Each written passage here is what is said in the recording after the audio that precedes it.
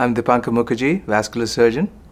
I'm also the chief of vascular surgery here at Inova Fairfax Hospital. When patients come to us, they're rather distressed, and obviously they're seeing me because it's a life or limb saving problem. So they come from a heightened level of anxiety, and I believe that treating them kindly and compassionately is almost more important than anything else. We uh, manage all diseases of the blood vessels, everything except the heart. The typical conditions that we take care of are people with, you know, carotid blockage.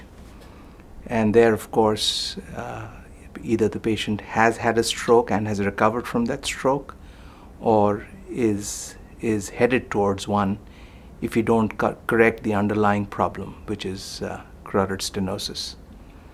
And um, so carotid endarterectomy is something that I do a great deal of, which is the surgical procedure uh, meant to unblock the carotid artery, if you will.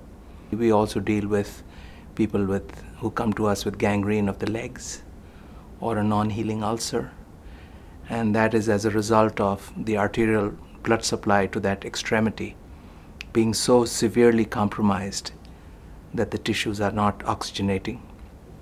And it's my role to restore that arterial flow to that limb.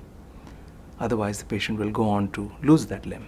In today's world, there are a number of different avenues to get there. But the, the reason the patient has come to see you is you're a, you're a surgeon.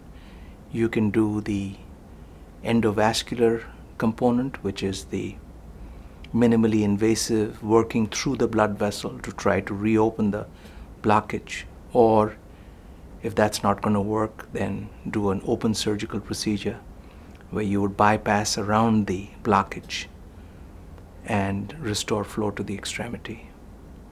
So if there is one underlying fundamental principle that I follow, it's to treat people well, as I would want to be treated myself.